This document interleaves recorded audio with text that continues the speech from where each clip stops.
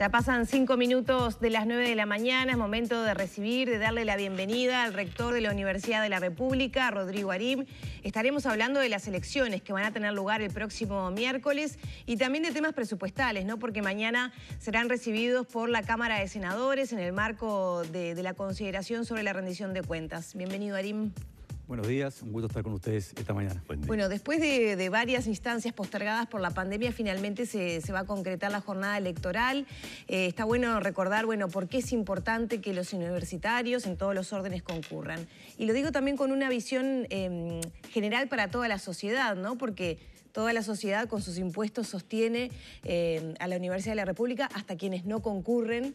Eh, y también toda la sociedad se beneficia y, vaya si quedó claro en esta pandemia, ¿no? de los logros y los avances y la generación de conocimiento de la universidad. Bueno, como, como tú bien decís, esta es una elección que tiene ya, tendría que haber sido desarrollada en, marzo del año pasado, ¿no? el primer semestre del año pasado, producto de la pandemia, tuvo dos postergaciones, pero a la misma vez había vuelto a fijar para comienzo de este año y la volvimos a postergar. Y es una elección donde en primer lugar concurren más de 300.000 uruguayos a votar entre egresados, estudiantes y docentes en todo el país. Por tanto, es una elección deporte e importante en términos democráticos para el país en general. Se eligen dos órganos para todos los órdenes, que son las asambleas de los claustros de las facultades y la Asamblea General del Claustro de la Universidad de la República. Para que la audiencia tenga una idea de la importancia de estos órganos, son los órganos que, por ejemplo, eligen a las decanas o decanos y rector o rectora de la Universidad de la República. Cosa que va a suceder a partir posiblemente de que se proclamen las nuevas autoridades, cerca de dos terceras partes de todas las autoridades individuales, o sea, decanas o decanos y rectores, van a ser renovados en el correr de los próximos dos años. Eh, a la misma vez, los estudiantes eligen los integrantes de los consejos de la facultad, que es el órgano de conducción más cotidiana de, la institución.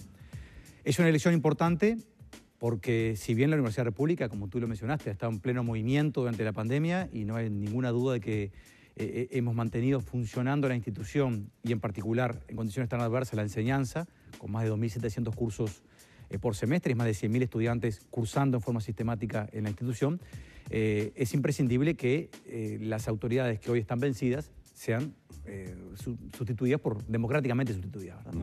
este, entre otras cosas, porque tenemos que planificar el futuro y mirar hacia adelante y ver qué es lo que, qué es lo que la institución puede hacer de cara al país. Somos el 80% de la investigación en Uruguay y el 80% aproximadamente el total de estudiantes universitarios que tiene el país. Por lo tanto, en buena medida lo que suceda en la Universidad República eh, va a determinar la evolución de la educación superior en, Uruguay. Eh, ¿Qué pasa con, las diferentes este, facultades, las listas, la afiliación, ¿no? cuántas de FEU, cuántas de las otras este, corrientes? Un poco también lo que nos puede dar cuenta del interés o, la vigencia que tiene en, quienes concurren, ¿no? Yo diría que, tanto en la etapa previa, a veces cuando se llega a armar una lista, previamente hay, acuerdos, hay diálogo, como en la, etapa de presentación de las listas, es una elección donde en los distintos órdenes, en las facultades, por supuesto que acá hay diferencias entre facultades, eh, hay una diversidad de listas relativamente importante al respecto. ¿verdad? Es una elección extraña, tenemos que reconocerlo porque, de por sí, porque la democracia presupone encuentro, presupone debate, presupone la posibilidad de, intentar transmitir el mensaje de, quien pertenece a una lista a los estudiantes, a los docentes, a los egresados en ámbitos universitarios. Y en realidad, hasta hace unas relativamente pocas semanas, hace un par de meses atrás, la vida presencial estuvo muy acotada en la Universidad República. No la vida universitaria que se tuvo, vuelvo a decir, en pleno movimiento pero es muy difícil hacer una campaña electoral, una campaña con estas características, en un contexto donde en realidad el encuentro, eh, la presencialidad está muy acotada. Rector, ¿cómo van a manejar el tema del protocolo sanitario que me imagino, usted lo decía ya en la primera respuesta, ante la cantidad de personas que moviliza esta elección debe haber sido uno de los puntos a tomar en cuenta para la, realización, en definitiva, ¿no? Sin duda fue uno de los elementos centrales eh, en el diálogo con la Corte Electoral y fue a partir de ese diálogo con la Corte Electoral que fueron determinándose eh, los locales de votación, las características de esos locales, los circuitos donde se ubicaban, con qué densidad cada circuito. Eh, es una elección además donde se puede votar en distintos lugares del país también. Por lo tanto, eh, vamos a cuidarnos eh, en, ese día en particular y está establecido de esa manera. Y por supuesto todos los protocolos vinculados a medidas de, distanciamiento social y uso de tapabocas en locales universitarios este, se mantiene plenamente vigente. Y ya le uno esa pregunta con, con otra que escapa un poco al, al tema elecciones, pero sí que tiene que ver con la vida de la universidad. ¿En qué cosas aún la pandemia sigue afectando el normal desarrollo del trabajo eh, a nivel universitario? Yo te agradezco la pregunta porque en realidad, por un lado, la primera respuesta es todos los servicios y facultades de la Universidad de la República hoy tienen actividades presenciales, pero son actividades acotadas, son actividades en donde en realidad se prioriza aquellas... Eh, aquellos vínculos entre el docente y el estudiante que no pueden ser sustituidos razonablemente bien por la no presencialidad. Las clínicas, la interacción con sistemas biológicos en la Facultad Veterinaria, Facultad de, Agronomía, por supuesto toda la de salud, en las artes, donde la creación artística es, tan relevante el encuentro y la, interacción con otros. Bueno, esos espacios se fueron reconstituyendo. Todavía tenemos un componente muy fuerte eh, de no presencialidad o de virtualidad que está asociado a cuidarnos entre los uruguayos y simultáneamente a respetar al estudiante que hace dos años atrás, por ejemplo, tomó la decisión de no alquilar en Montevideo o no alquilar en Salto, en Paysandú, Maldonado, en Rocha, Tacuarembó Rivera, donde tenemos las sedes grandes, este, para decir, bueno, porque en realidad como la presencialidad no estaba presente, ahorro esos gastos y por tanto nosotros no podemos en dos o tres semanas solicitarle que retornen todos a la, presencialidad. Entonces, cuidando esos elementos y asegurándonos de no perder estudiantes en esta transición extraña que es volver a la presencialidad luego de casi un año y medio, este, este año vamos a terminar posiblemente con estas características, ¿no? con exámenes presenciales muchas veces, con evaluaciones presenciales, con actividades eh, acotadas en términos de cantidad de personas que participan y con algunas áreas que habían estado muy afectadas por la epidemia, en particular, vuelvo a repetir, en el área de salud, en la interacción con sistemas biológicos, en laboratorios, en la creación artística, que están retornando a la presencialidad para poder completar la currícula. ¿no? Tenemos, hay alguna facultad que ha sufrido un poco más que otra, en particular, por ejemplo, la Facultad de Enfermería tiene algún atraso curricular, ¿sí? pero en general, eh, pese a la pandemia, la Universidad de la República ha logrado mantener los calendarios. ¿sí?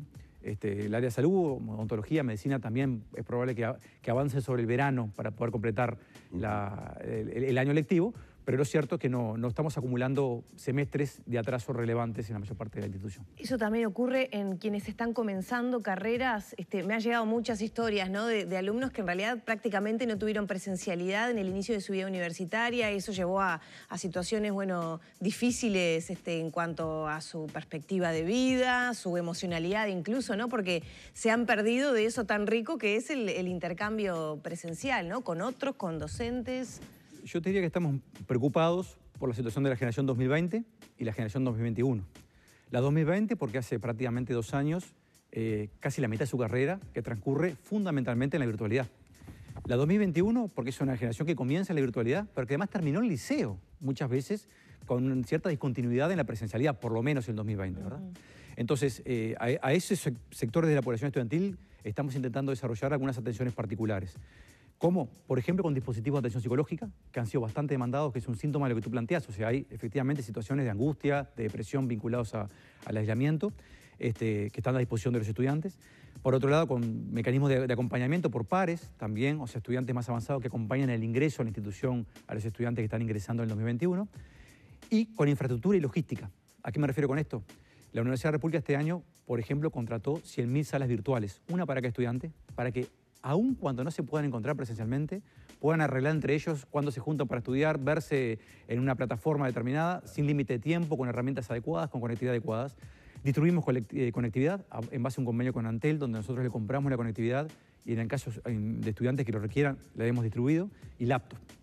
Ahora, nada de esto eh, evita el hecho de que no es una situación razonable ni ideal. Por lo tanto, reconstituir esos vínculos y volver en algún sentido de la vida presencial es parte de lo que nos proponemos, a la misma vez de intentar preservar aquello que aprendimos a hacer mejor que lo que hacíamos antes, ¿sí? que es el uso de algunas tecnologías de, la información asociados a la, a la, educación. Nos quedamos sin tiempo. ¿Queda cuenta otro encuentro entonces después que conozcamos los resultados? ¿Cuándo se van a conocer? Y probablemente esperemos que antes de fin de año estén proclamadas las nuevas autoridades. Bien, porque también además tenemos que, hablar de temas presupuestales que son muy importantes. Muchas gracias. Por ¿eh? favor, muchas gracias a ustedes. Cerramos por aquí entonces la entrevista con el rector de la Universidad de la República, Rodrigo